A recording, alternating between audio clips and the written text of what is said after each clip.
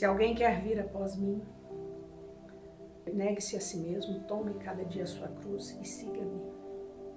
Pois quem quiser salvar a sua vida perderá, e quem perder a sua vida por causa do Evangelho, esse a salvará. Palavras do nosso Senhor Jesus Cristo. Sabe, queridas, eu quero falar com vocês sobre renúncia. Porque esta é uma condição e este é um comportamento que ele tem se tornado bem difícil. E nós temos visto um evangelho sendo pregado que não exige ou não ensina ou não pede renúncia de quase nada, sabe? O evangelho do Deus que somente ama, mas que você não tem que fazer sacrifício nenhum. O evangelho do Deus que só quer o coração e que tudo mais está tudo certo eu preciso te dizer que esse não é o Evangelho do nosso Senhor Jesus Cristo. Em todas as páginas da Bíblia que nós vamos meditar, em todos os ensinamentos de Jesus, nós vamos ver que o Evangelho autêntico, o Evangelho verdadeiro, ele exige de cada um de nós renúncia. Ele exige mudança de postura, mudança de comportamento. Negue-se quem quiser vir Primeiro é um chamamento é, autônomo de cada um, cada um quiser.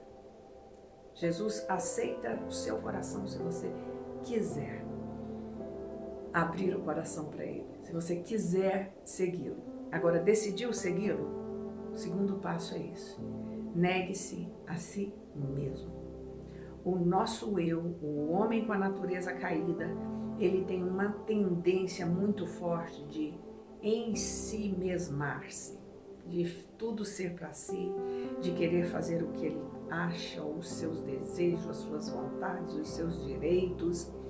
E Jesus nos chama para um outro comportamento, um outro tipo de vida, uma outra forma de agir, de pensar e de ser.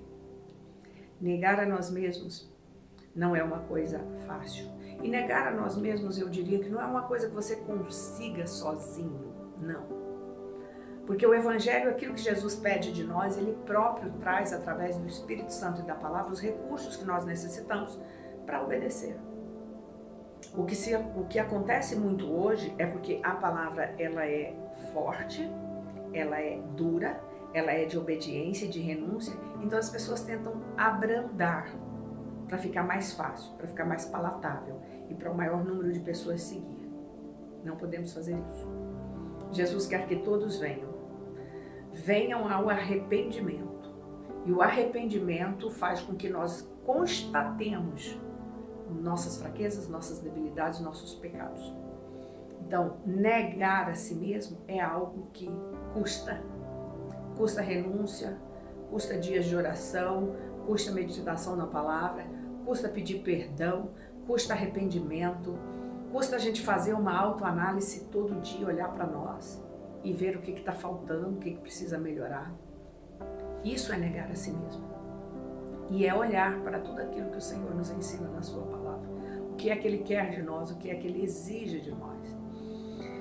Então, e Jesus ele faz essa, essa, ele dá essa palavra aqui para os discípulos após as orientações, ele vinha falando, conversando com os discípulos sobre a sua morte, o que, que aconteceria com ele e tal. Então, quando ele fala que ele subiria a Jerusalém, que ele sofreria ali na mão dos, dos sacerdotes, dos anciãos e das autoridades, né?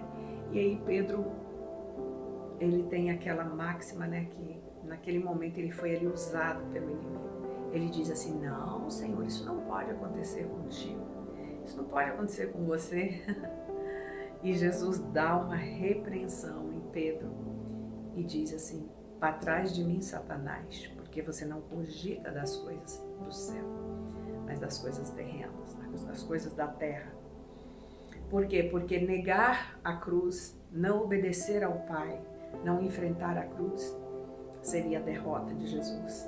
Seria o plano que Deus traçou, o plano que Deus arquitetou para a nossa salvação e para a salvação da humanidade, de todo aquele que crê. Então, Jesus ele fala isso para Pedro, né?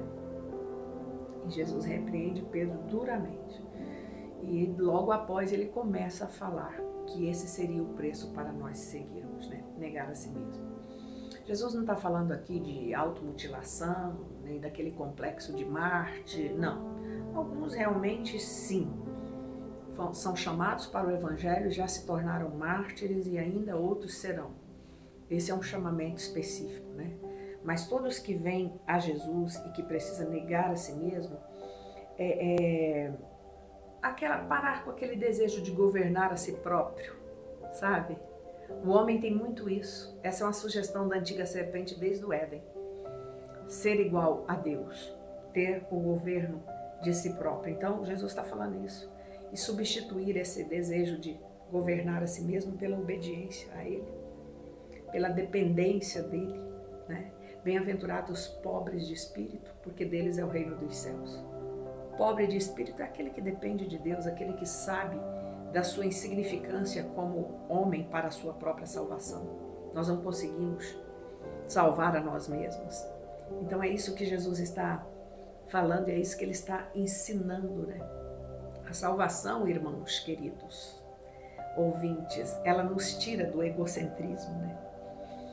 A conversão ela faz isso, ela te tira do egocentrismo.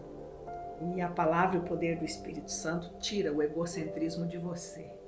Uma coisa é você compreender, é, entender ou saber que o homem não pode ser egocêntrico, né? Mas você deixar esse processo acontecer com você mesmo é outro nível, é outro patamar. E é isso que Jesus quer. É isso que ele vai falar em outro texto em Mateus também, que aquele que ouve as palavras dele e não as pratica é como um homem que constrói uma casa sobre areia. Logo, logo ela vai cair, vai ruir, né?